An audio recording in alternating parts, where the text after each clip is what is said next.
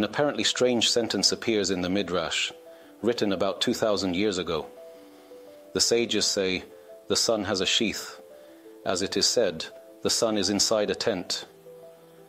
Typically, what does a sheath do? It protects what is inside it.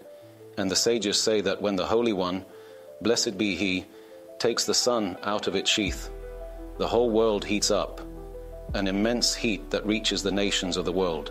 Whenever people saw this sentence, they dismissed it entirely. What is the sun? Whoever saw a sheath for the sun? But the sages say, there is a verse, and we know that it is so.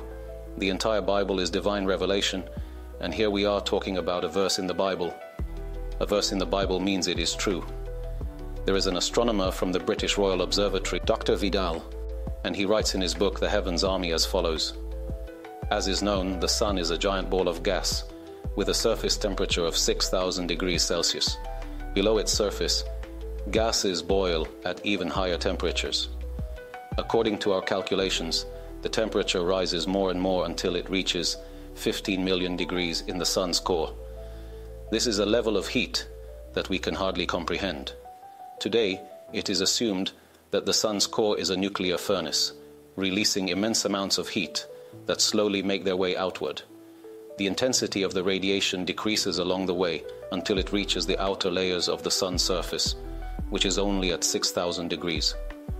These high temperatures inside the Sun cause the gases there to boil at immense scales and even create explosive waves that hit the outer gas layers of the Sun with tremendous force. These outer layers absorb the heat radiation coming from the Sun and also block the shocks caused by these waves.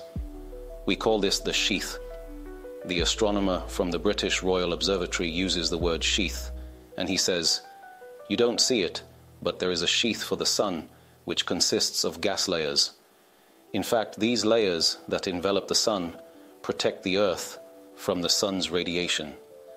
If the Sun's heat reached the Earth directly, it would burn everything, and no life could exist here.